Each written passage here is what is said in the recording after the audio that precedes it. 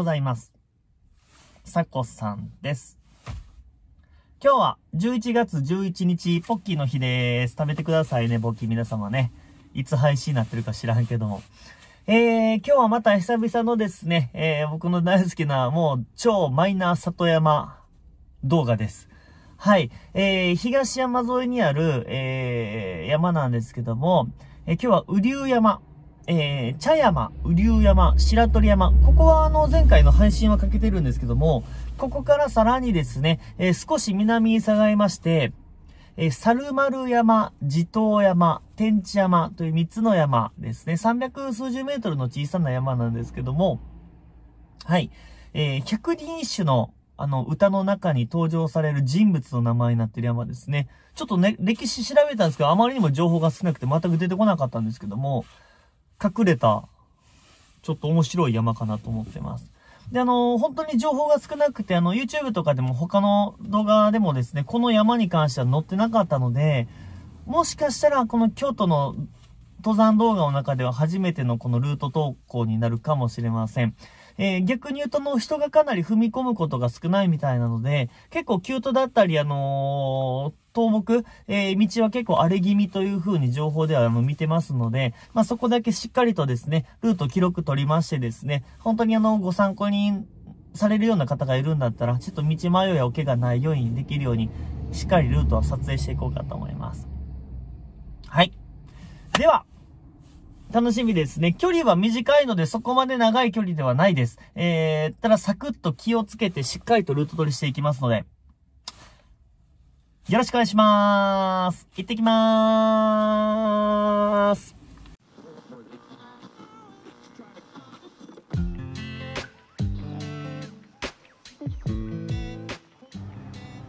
はい、えっ、ー、と、ここが現在地、今ここからスタートですね。で、えっ、ー、と、京都トレイルですね、えっ、ー、と、白鳥山までは動線ほとんど通っていくので、ここからバプテスト病院の駐車場から入って山道に入ります。ほい。えー、手前自販機ありの、こっちですね。一瞬パッと見たら入れるかなと思うんですけども、病院まっすぐに対して脇に駐車場があるんですがそちらから入っていきますはいではですねちょっと動画と見づらいかなトレイルコースという、まあ、標識がありまして道ずっと進んでいくところですね。実質ここが登山口になるのでここからスタートです。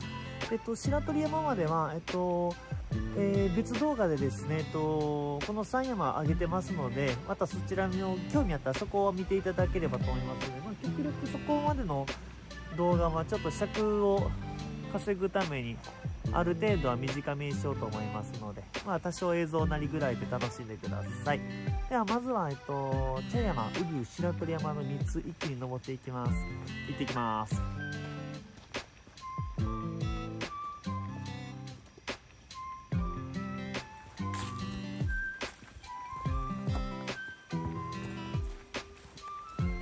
えー、っと、トレイルがまた出てます。左に進めます。まっすぐでも行けます。まっすぐも面白かった。けど左から行きます。こっちですね。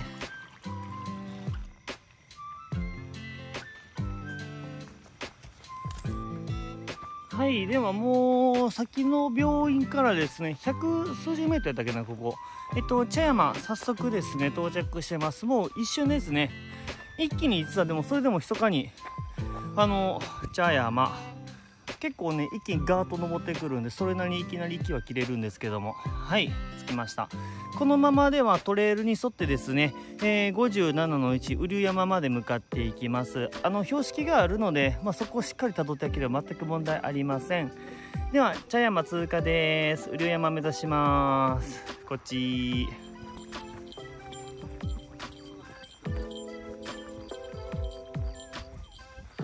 はい、57の1番来ましたね。このまままっすぐぐるーっとこう、こっちに行くんですが、こっちいつも僕行きます。いつもちゃうか、2回目やな。こっち行きます。標識としては雨竜山ですが、ここに危険という表記があります。あの、縄場がちょっとあったりするんですけど、まあまあ、あの、気付けていけば問題ないので、こちらちょっとのいい景色見れるところがあるので、はい、危険と書いてる方に行きます。まあ、一応ご注意ください。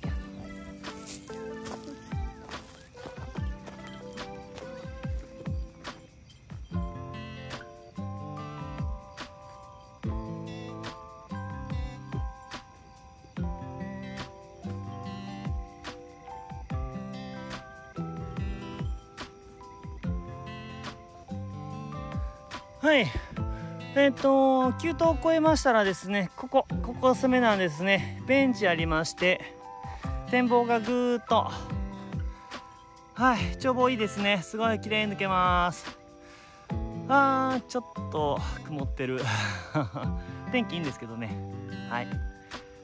え、ー、と一休憩ここで挟むこともできますしまあ今日もまっすぐ行けますけどもはいかなりグッドなところです。ちなみにここ僕のヤマップのですねあのトップガンになってるんですけどもねあの上に木があってぶら下がってるやつです。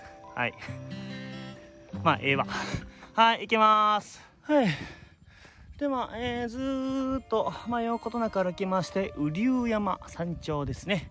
到着いたしました。郷土トレイルは変わらずありますので、えー、ここからですね、えー、あっちに抜けていて白鳥山の方に抜けていきます。雨竜山です。はいえーと、ちなみに余談ですが雨竜山のですね、えーと、プレートなんですけども前回見つけなかったんですけど、まあ、下があのお社というかありますよね。あのそこの裏手にですねあとこんもり。こんもりあの本当に最後の山頂がありましたのでそこの上の木にぶら下がってます。また見つめ見つけてみてください。はい。じゃあ改めてですね、えー、白鳥山までそのままどんどんスピード上げていきます。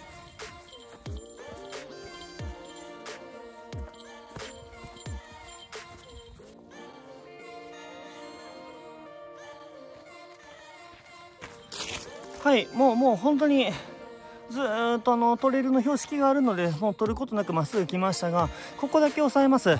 分岐点ですね、えー、白鳥山かつ京都トレイルは左に進みますし、えー、白鳥山行ってからここまで戻ってきてこちらに行けばあのー、山中越えの道中に出てそのままですね隣の山の、えー、目的の天地山等々に進めます。一旦左に進みます。で印がありまして18番書いてますね。ここを目印に入ります。では白鳥山行きます。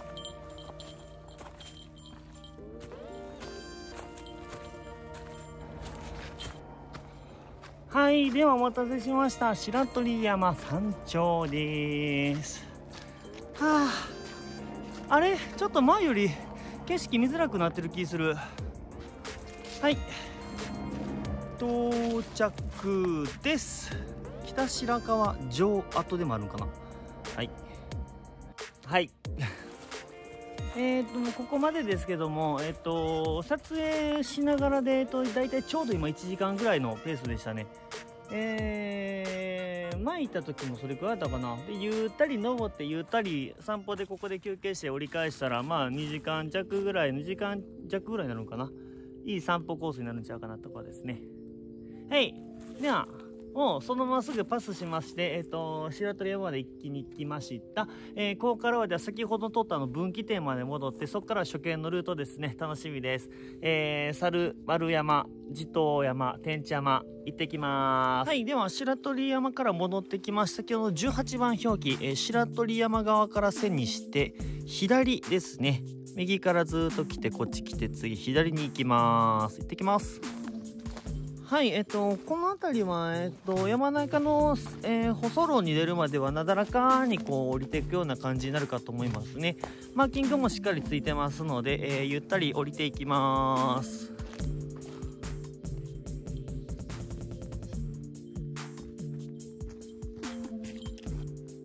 はい。では、ここ記録です。広い谷間を抜けていきますと歩きやすいなと思った矢先急にですね、えー、足元が結構グダグダな、えー、細い谷間に入っていきました。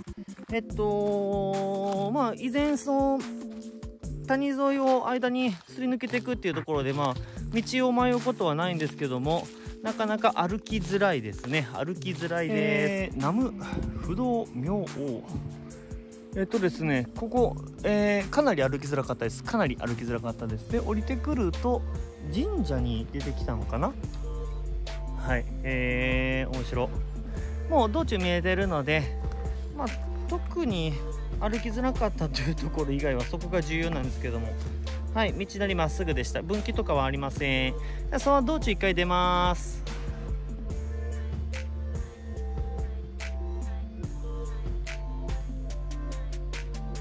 ここから少しの間と車道に出ますので林道見えてましたけど今そこ奥には行きません。車道に1回出ます。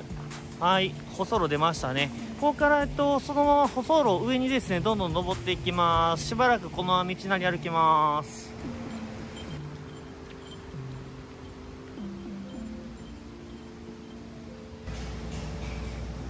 はいえー、っとここちょっとややこしい分かりづらいな今たまたまちょっと工事されたので分かりやすいんですけどもえー、っとこちらからずっと上がってきました。上がるとマーキングは今ちょっとこの位置やから見えへんのかな。えー、壁沿いにポコンと抜けてガラガラガラーといった感じですね。確かにしんどそうやな。今ちょっとちょっとこっからちょっとトレポ準備して多分クモの巣多いちゃうかな思うんで ちょっとトレポ使ってもあのクモの巣よけながら行こうかと思います。はいえーと改めてえ、ー、と道中上がりましたらこの景色としか言いようがないです。この景色から上に上がっていきます。概要欄から山マップまた参考にしてください。では行ってきます。はいはいなるほどね。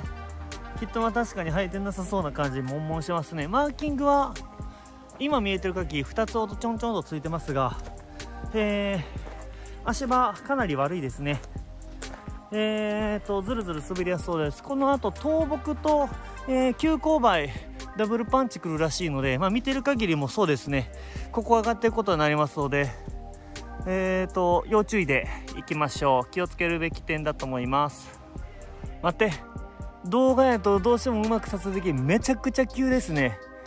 斜面めちゃくちゃきついです。えっと、かなりこれ滑り落ちそうなので、ちょっと注意して登ってください。マーキングも少ないです。かなり急です。はい。えっとね、手ぶらで行ったら危ないですね。えー、危ないと思います。これは危ないですわ。えっ、と木もそんなにがっつり多いわけじゃないし、捕まるとこないのと、斜面がほんまに急なので、ガンガンズリズリ落ちていきますね。えーと、変わらずですね、ちょっともう言葉でしか伝えられないんですけども、上に稜線が見えるんですけども、見えるかな？はい。あそこまでですね、肉眼で見るとほぼもう壁なんですよね。ほぼ壁状態になってるので、かなりしんどいかと思います。登る方気をつけてください。えー、とりあえず尾根出ました。でですね、こうなんですよ。ここをずっと僕登ってきたんで、はい、もうかなり危なかったですね、え危なかったですね、ここに関しては。なるほど、さすが天王山の山は、里山ならではの危なっかしいルートですね。はい、ではちょっと気をつけて、これ下りどうしようかな、別ルート取ろうかな、予定したところと。ここからちょっと尾根に沿って気をつけて進んでいきます。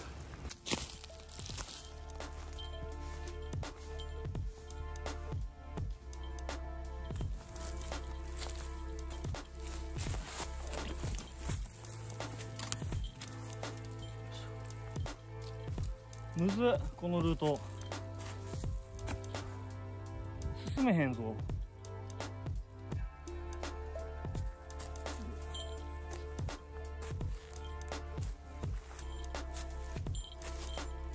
うわ暑いな。トレッポ絶対いりますねこれ。えっとまあ絶対っていう保証はないですけども僕はトレッポあってよかったですね。足場ちょっと確認しながら進まんとさっきもずるずるちょっと落ちるところあったんで。はい気付けてください。いきます。えー、まさかこんなにきついもてんかった。えっ、ー、とですね、改めてあの動画だけで行くのは絶対無理ですね。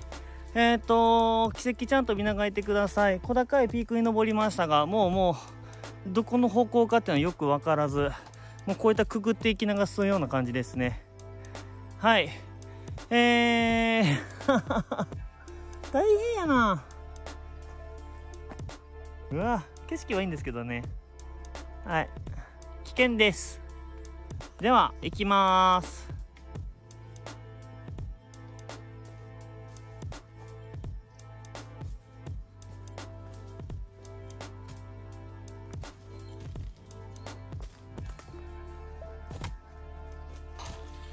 えー、ザラザラしてるね。急に岩場が出てきましたが、ちょっと気をつけてきます。はい。ぐんぐん登りますが、危険です。パーキングあります。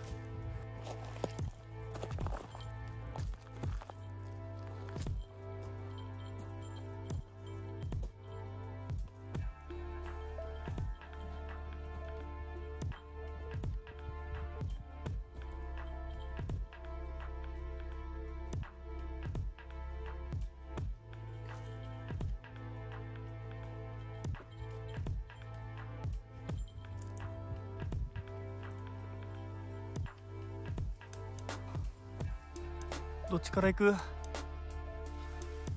掴んで出て木下くぐって上行って山頂かな、うん、はい。きつかった。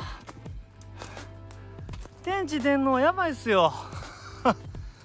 はい。天地山到着です。はい。では天地山、えー、到着いたしました。えーとね。これ取る道によっては簡単なんかな？分からんけどもう一回だけまあ概要欄にも載せますけども間違いなくこれえっ、ー、と山登り始めた方は絶対行くべきじゃないですね。えっ、ー、と行かない方がいいです。えー、はい。さっき思いやられるな。今とりあえず天地山来ました。展望はちょこっと見えてます。はい。木々は少し邪魔ですけど綺麗ですよ。登った回達成感はやっぱり危なかったもありますね。はい。では続きましてが地頭山猿丸山やったっけな？どっちやったっけな？次が。えー、どうやろうなこっからの道。筆きつそうやな。距離は近いんやけど。地頭山 349m ですね。はい。えー、引き続き何度も言います？えっと、かなり滑落の危険性がありますので、えー、ご注意お願いします。では、このまま地頭山ですね、えっと、進んでいきます。えー、引き続きナビ概要欄から見てください。お願いします。はい、えー、っと、天地山からですね、えっと、また降りてっています。マーキングは、えー、かなり少なめで、たまにありって感じですかね。えー、っと、同じく足場非常に悪いので、登ってきた道よりかはまだマシですがはいこれ尾根取り間違えると同じくさらに遭難の可能性も十分にありえますのではいおさすがなんかもうさいよいよ里山やな。よいしょ。はいあのもう大げさにどんどん捉えていただいて結構かと思います。ご注意ください。いきます。全然いけへん。これは尺長なる。いつもやけどでも尺を長くしてでも取らんとあかんわ。これはやばいな。危な。はあ。はあ。これくらいのスペースでやっとちょっと広いなって感じるくらいです。はい引き続きいきます。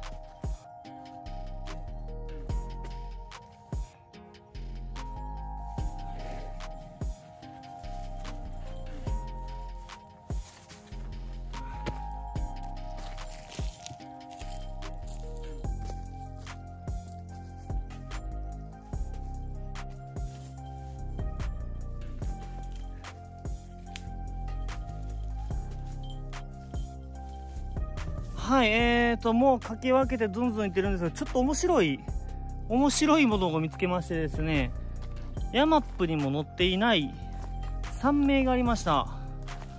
えー、コウモリ山。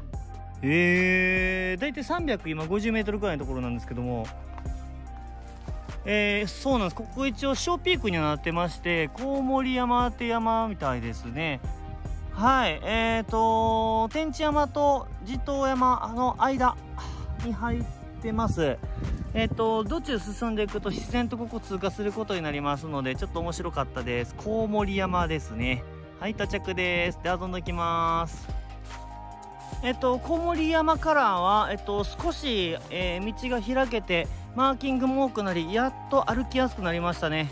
はい、このまま無事つけるといいんですが、進みます。はあ、ほんまにあの、シャドウがあるとかで、勾配がきついとかじゃないんですよね。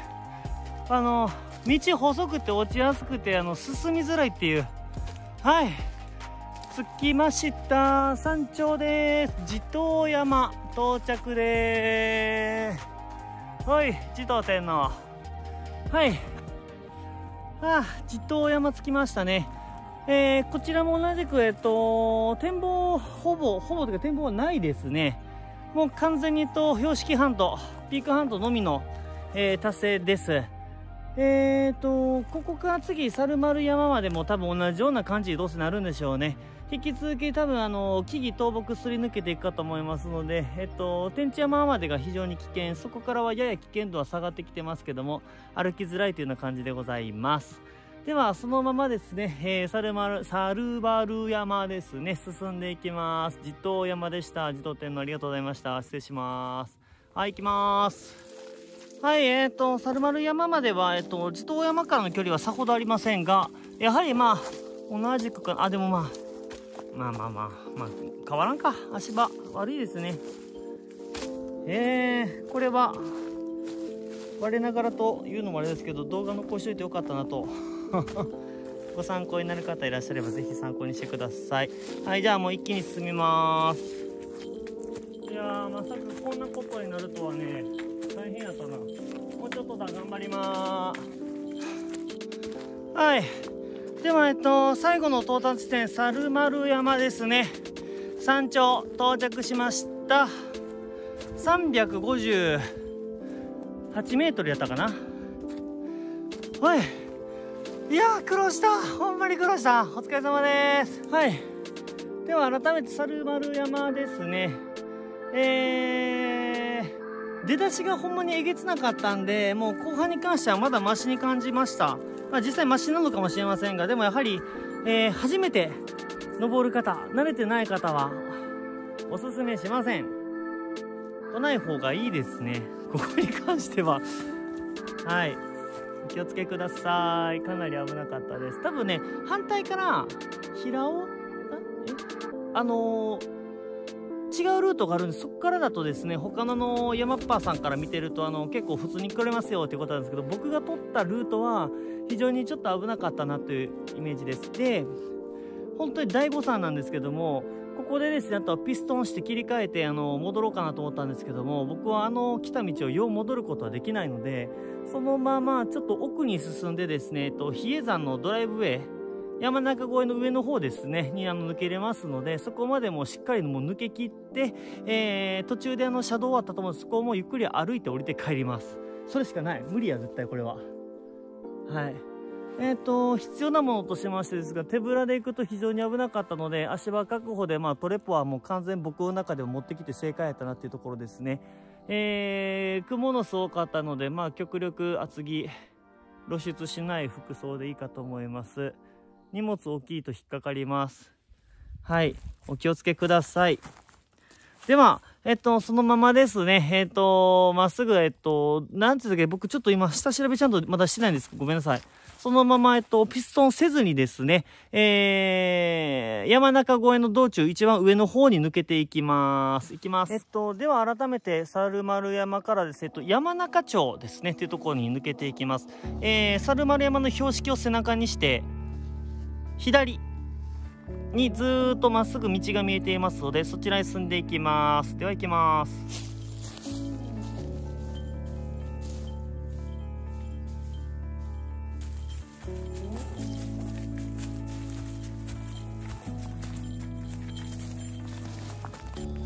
はい、えー、改めて道中ですね、えー、どんどんとあの道分かりやすくなってきてます。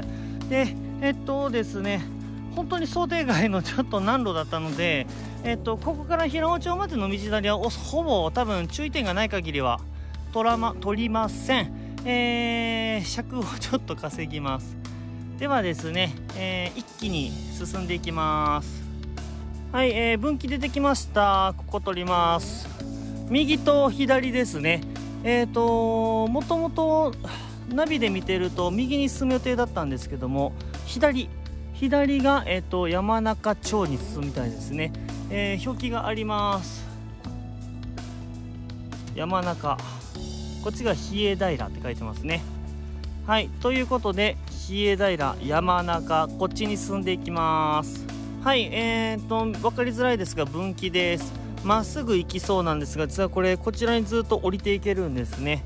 えっともう完全にもう初見の道ナビもない状態で来てますのでマーキング頼りなんですが極楽峠。うお縁起でもない名前が。極楽峠行くの今から。はい。ということで見た限りですと枯葉でかなり蓄積されているので滑りやすいかと思いますがえっ、と方向ですね。えー、向き見てる影だとこちらで当てますので、えっと、まっすぐに対して右に進んでいきます。極楽行ってきます。はい、えーと、人の踏み入ってる、えー、形跡はほぼなく、えー、マーキング非常に少なくですね。帰りもちょっとここ危ないかな。はい下りもかなり急車。もうずっとこの葉折りですね。もう巻いて横にちょっとずつ巻き巻き巻き巻きで降りてってます。えー、っと車道からの車の音が聞こえてきてますのでもう間もなく下山はできますが最後の最後ですね油断ならないです。降りてきます。こんな感じですよ。えー、っとねもう降りもねマーキングあるんですけどほんまにって感じでずーっとずるずる落ちてきてるんですよね。もうもう着きましたよ、えー最後の最後にただ大怪我せんように気ぃつけんためですね。えー、と小さな沢にたどり着いて車道に出る感じですねはい。最後の最後にめっちゃ危険です。ほい。はい。ではですね、えーこちらの光景ここがもういわゆる下山になったかな。大変やったけどなほんまに。えー、とここからはあの小さな沢流れてるんで沢の隙間から抜けていくと車道に出れるみたいでございますのでえー、はい。じゃあちょっと気をつけて抜けていきます。はい。疲れ様でした。では山中町ですね、えー降りてきました。きつかった。出口であの田んぼをした後あのおじさんいらっしゃったんでちょっとお話ししたんですけども。まあぼちぼちここの山残通ってる人いるみたいですけどもあの大文字山とかにまたあの結構安全なルートがまたいろいろ分かれてるみたいなのでそちらに使う方いるみたいですね。天地山の方に関しては天地山って何って言われるくらいだったのでやっぱりそんなに使われてないルートだったっていう感じです。うん。